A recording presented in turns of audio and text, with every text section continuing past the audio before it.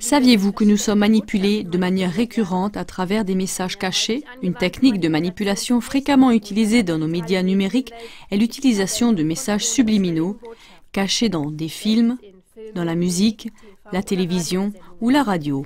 Avec cette méthode, on contourne la pensée consciente pour transmettre certaines informations dans notre subconscient. On utilise des stimuli visuels ou auditifs qui sont en dessous du seuil de perception de l'homme, mais qui sont bien reçus et traités par notre subconscient. C'est avec une grande vitesse que des images ou des messages apparaissent de manière ciblée dans des séquences de films ou que des ordres sont intégrés de manière inaudible dans la musique de fond et répétés continuellement. Ceux-ci peuvent alors influencer notre comportement sans que nous reconnaissions l'origine de cette influence.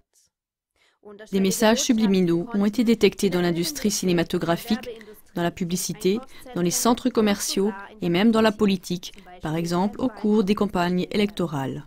Il n'existe pas de protection sûre contre le terrorisme de la pensée, si ce n'est de réduire la consommation des médias numériques au strict minimum. Après tout, qui veut être manipulé sans l'avoir voulu avec des informations qu'on n'a pas choisies soi-même librement